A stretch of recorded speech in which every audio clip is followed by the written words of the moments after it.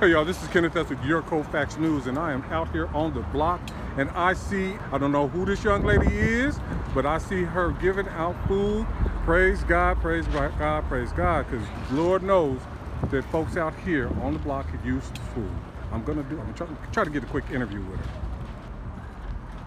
Folks, I am out here today with My name is Maria Hedrick. I'm a visual art teacher at Aurora Science and Tech Middle School. Okay, and what brings you out here to Colfax today? Well, I have some extra lunches, um, and I figured I'd give them away.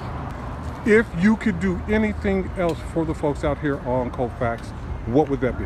Well, uh, actually, yeah, I own a nonprofit. At, uh, it's called the Deuce Gallery, and I do arts and culture with homeless people to try and destigmatize and build resilience. Oh, amen, amen. So if a person wanted to find you or to come and submit some artwork or anything of that nature, how would they get in contact with you? They can email me at mariapaints at live.com. Live. M A R I A P A I N T S at live.com.